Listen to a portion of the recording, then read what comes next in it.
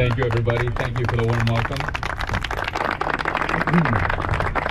I'm very happy to be here to uh, represent the state government and the governor's office. Uh, what you've built here is truly remarkable, and this is the exact type of thing that the governor's office likes to recognize and give uh, recognition to. Well, redundant, but uh, likes to recognize um, for bringing communities together, bringing people together, uh, promoting sportsmanship, and just uh, activity for young people. So uh, this is truly remarkable what you've built here, and I'm extremely happy to present this citation from the governor's office to Toca Junior Football Club.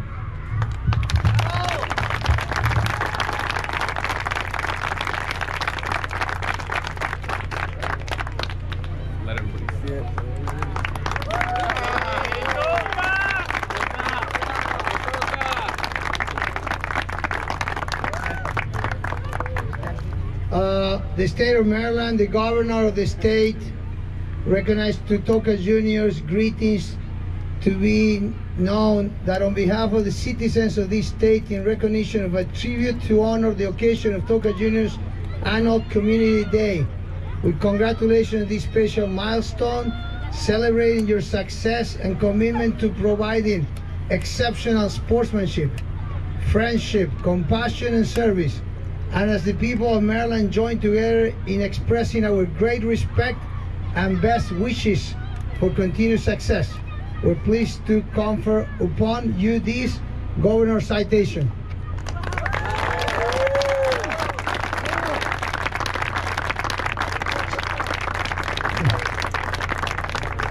So, uh, again, I think uh, there's a lot of things that this uh, recognition says, but there's a lot of things that they miss. I always uh, tell all the players, the coaches, and the parents that we are a very, very small community, but very, very strong because we believe in family, education, friendship, and sports. And how, with your humble humility every day, you can say, How can I help?